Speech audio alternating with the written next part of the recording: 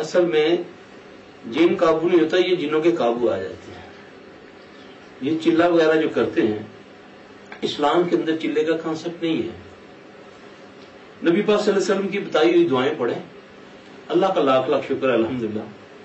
مجھے بیس سال سے زیادہ ہو گیا یہ کام کرتے ہوئے۔ الحمدللہ للہ کوئی چلا کلا کوئی کچھ نہیں۔ نارمل جو صبح شام کے اذکار ہیں، کوشش یہ کرتا ہوں کہ الحمدللہ للہ الحمد اس کی توفیق سے کہ بچا جائے، زیادہ سے زیادہ اللہ کی نافرمانی سے بچا جائے۔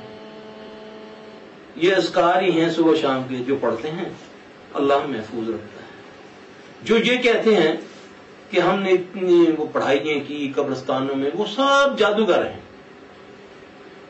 وہ کسی کتاب سے یا کسی اپنے جو خود ساختہ مرشد ہوتے ہیں، ان سے کوئی لفظ لے لیا۔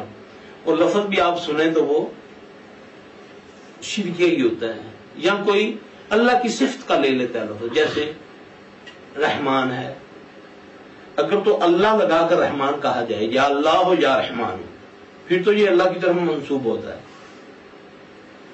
اگر خالی رحمان و رحمان و رحمان و رحمان و رحمان ہو، تو اس میں کئی رحمان جن بھی ہیں اور کئی رحمان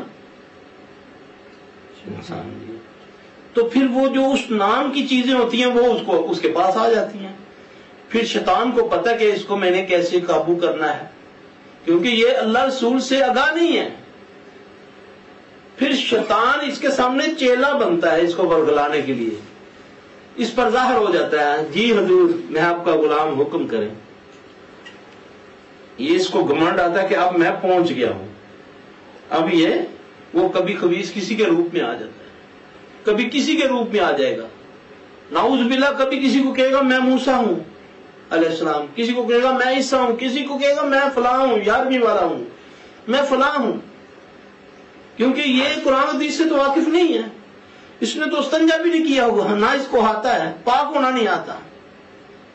قبرستان میں بیٹھا ہوا بغیر وضو کے پڑھائی کر رہا ہے، آگ جلائی ہوئی ہے، یہ جی, جی جن قابو کر رہا ہے۔ جن نہیں جن اس کو قابو کرتا ہے۔ پھر وہ جنات ان سے کام لیتے ہیں، شیاطین، بڑے بڑے شیاطین۔ ان سے کام لیتے ہیں، ان کو القا کرتے ہیں۔ ان کے ساتھ باتیں کر کے ان کو بتاتے ہیں۔ جس سے اس مریض کو نقصان ہوگا، یہ اس سے وہ کام کروائے گا۔ کہ بھی تو یہ کر، یہ گوشت پھینک دے۔ یہ قبرستان میں ہر چاند کی فلاں تاریخ کو ایک بکرا چھوڑ دیا کرو۔ صدقے کا نام دے کر۔ یہ گوشت اپنی چھتوں پہ ڈال دیا کرو۔